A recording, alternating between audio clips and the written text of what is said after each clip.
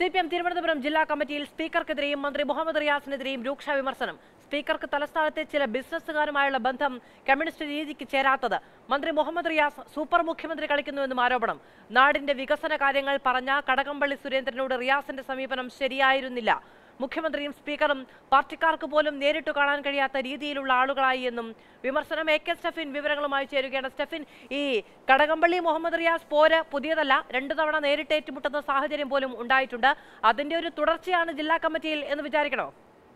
തീർച്ചയായിട്ടും മാധു. പ്രത്യേകിച്ചും തിരുവനന്തപുരം ജില്ലാ കമ്മിറ്റിയിൽ കടുത്ത വിമർശനമാണ് മുഖ്യമന്ത്രിക്കും മന്ത്രി മുഹമ്മദ് റിയാസിനും അതോടൊപ്പം തന്നെ സ്പീക്കർ എ എൻ ഷംസീറിനുമെതിരെ ഉയർന്നത്. അതായത് മുഖ്യമന്ത്രിയും എ എൻ ഷംസീർ സ്പീക്കറും സാധാരണ പാർട്ടിക്കാർക്ക് പോലും ചെന്ന് കാണാൻ കഴിയുന്ന തരത്തിന് അപ്പുറത്തേക്ക് അപ്രാപ്യരായിരിക്കുന്നു എന്നുള്ളതാണ് തിരുവനന്തപുരം ജില്ലാ കമ്മിറ്റിയിൽ ഉയർന്നിരിക്കുന്ന ഒരു പ്രധാനപ്പെട്ട വിമർശനം. അതോടൊപ്പം തന്നെ പലതരത്തിലുള്ള ബിസിനസ് താല്പര്യങ്ങൾ സ്പീക്കർ എ എൻ ഷംസീറുമായി ബന്ധപ്പെട്ട് അദ്ദേഹത്തിന് ഉണ്ട്.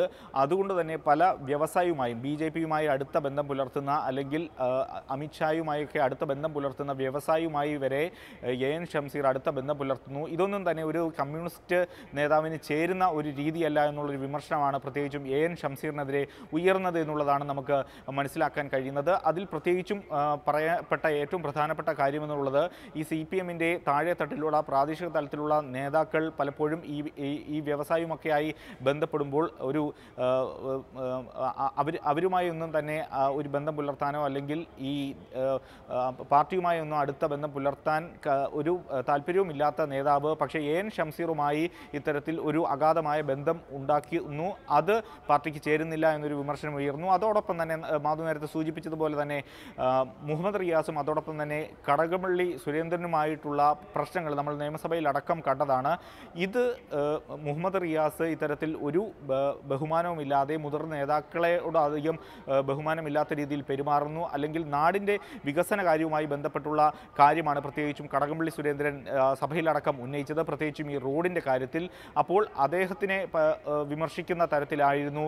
ആ വിമർശനം ഉൾക്കൊള്ളാതെ അദ്ദേഹത്തിനെതിരെ പറയുന്ന ഒരു നിലപാടാണ് മുഹമ്മദ് റിയാസ് സ്വീകരിച്ചത് എന്നുള്ളൊരു ആരോപണമാണ് പ്രത്യേകിച്ചും ജില്ലാ കമ്മിറ്റിയിൽ ഉയർന്നത് എന്നുള്ളതാണ് മനസ്സിലാക്കാൻ കഴിയുന്നത്. അതോടൊപ്പം തന്നെ മുഖ്യമന്ത്രിയുമായി ബന്ധപ്പെട്ട് ചില വ്യവസായികൾക്ക് മുഖ്യമന്ത്രിയുമായി വലിയ ബന്ധം പുലർത്തുന്നു. അദ്ദേഹത്തിന്റെ വീട്ടിൽ വരെ കടന്നു ചെല്ലാനുള്ള സ്വാതന്ത്ര്യം ചില തിരുവനന്തപുരത്തെ വ്യവസായികളുമായി അതിൽ പക്ഷേ പാർട്ടി നടപടിയെടുക്കുകയാണല്ലോ. പാർട്ടി അത് ഗൗരവതരത്തിൽ പരിശോധിക്കുന്നത് മാത്രമല്ല എം സ്വരാജിന്റെ വിമർശനം ഉണ്ടായിട്ടുണ്ട്.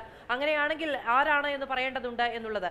ഇപ്പോ കാസർഗോഡ് മുതൽ തിരുവനന്തപുരം വരെയുള്ള ജില്ലാ കമ്മിറ്റികളിൽ രൂക്ഷ വിമർശനം ഉണ്ടായി എന്ന് പറയുമ്പോൾ കഴിഞ്ഞ ദിവസം മന്ത്രി മുഹമ്മദ് റിയാസിനെ പ്രതിരോധിക്കുന്നത് നിങ്ങൾ ജില്ലാ കമ്മിറ്റികളിലുണ്ടോ എന്ന് മാധ്യമപ്രവർത്തകരോട് തിരിച്ചു ചോദിച്ചുകൊണ്ടാണ് ഈ വിമർശനങ്ങൾ ഒന്നുമില്ല എന്ന് പറയുന്നിടത്താണ് പാർട്ടിക്ക് ഇത്ര രൂക്ഷമായ ഒരു വിമർശനം ഉണ്ടാകുമ്പോൾ അത് പരിശോധിക്കേണ്ടതും അതിനെതിരെ സംസാരിക്കേണ്ടതും വരുന്നത്. മധു വിമർശനമൊന്നും ഇല്ല എന്ന് പേരിന് പറയാമെന്നല്ലാതെ മറ്റു ഫലമില്ല. കാരണം പല സ്ഥലങ്ങളിൽ നിന്നും വിമർശനങ്ങൾ ഉയരുന്നുണ്ട്. അതോടൊപ്പം തന്നെ അത് മനസ്സിലാക്കിക്കൊണ്ടാണ് പാർട്ടി തിരുത്തും എന്നുള്ള കാര്യം സംസ്ഥാന നേതൃത്വം പറയുന്നത് കേന്ദ്ര നേതൃത്വം പറയുന്നത്. ഈ തിരഞ്ഞെടുപ്പിലടക്കം വലിയ തിരിച്ചടി ഉണ്ടായി എന്ന് പാർട്ടി തന്നെ സമ്മതിക്കുന്നുണ്ട്. അങ്ങനെയെങ്കിൽ താഴെത്തട്ടിൽ നിന്നുള്ള പാർട്ടി പ്രവർത്തകരുടെയും അതോടൊപ്പം തന്നെ നേതാക്കളുടെയും എല്ലാം ഒരു വിമർശനം പാർട്ടിക്ക് കേൾക്കേണ്ടി വരും. അതെല്ലാം അടങ്ങുന്നതാണ് ഈ തിരുത്തലിലേക്ക് കടക്കുമ്പോൾ എന്നുള്ളതാണ് പ്രത്യേകമായി കാണേണ്ടത്. അതായത് ഈ പാർട്ടി തിരുത്തുമെന്ന് പറയുന്നുണ്ട്.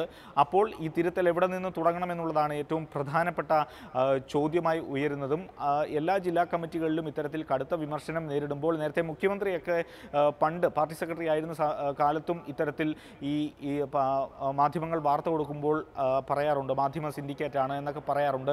അതിന് സമാനമായ രീതിയിൽ തന്നെയാണ് മുഹമ്മദ് റിയാസിന്റെ ഒരു പ്രതികരണം വന്നതും കേൾക്കാൻ. പക്ഷേ താഴെത്തട്ടിൽ നിന്നുള്ള പാർട്ടി പ്രവർത്തകർക്ക് അങ്ങനെ ഒരു വികാരമല്ല. കാരണം പല ഇടങ്ങളിലും വോട്ട് ചോർച്ച അടക്കം ഉണ്ടായിട്ടുണ്ട്.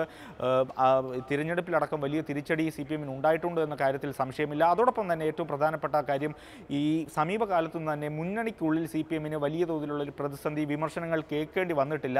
പക്ഷേ ഇപ്പോൾ തുറന്ന ഒരു നിലപാട് സി പി ഐ പോലും സ്വീകരിക്കുന്ന ഒരു നിലപാ സാഹചര്യമുണ്ട്. പ്രത്യേകിച്ചും ബിനോയ് വിശ്വം സി പി ഐയുടെ സംസ്ഥാന സെക്രട്ടറി ഒരു കടുത്ത വിമർശനം ഈ കണ്ണൂർ ഏഹ്, മായി ബന്ധപ്പെട്ട പാർട്ടിയുടെ പ്രവർത്തനങ്ങളിൽ ഉന്നയിച്ചു. അതൊക്കെ തന്നെ ഈ സി പി എമ്മിനെ സി പി എമ്മിന്റെ ഇപ്പോഴത്തെ ഒരു നില സൂചിപ്പിക്കുന്ന കാര്യങ്ങളുമാണ്. ശരി എ കെ സ്റ്റെഫനാണ് വിശദമായ വിവരങ്ങൾ നൽകിയത്. പാർട്ടി ജില്ല തിരുവനന്തപുരം പാർട്ടി ജില്ലാ കമ്മിറ്റിയിലാണ് ഈ സംഭവ വികാസങ്ങൾ അരങ്ങേറിയത്. മുഖ്യമന്ത്രിക്ക് എതിരെ വിമർശനം ഉന്നയിച്ചതിന് പാർട്ടി അന്വേഷിക്കുന്നു പാർട്ടി നടപടിയെടുക്കുന്നു. എം സ്വരാജിന്റെ ഭാഗത്തു നിന്ന് അതിൽ ചില വിമർശനങ്ങൾ ഉണ്ടാകുന്നുണ്ട്. അതിനിടയിൽ മന്ത്രി മുഹമ്മദ് റിയാസിനും സ്പീക്കർ ഷംസീറിനുമെതിരെ രൂക്ഷ വിമർശനം ഉണ്ടാവുകയും ചെയ്യുന്നു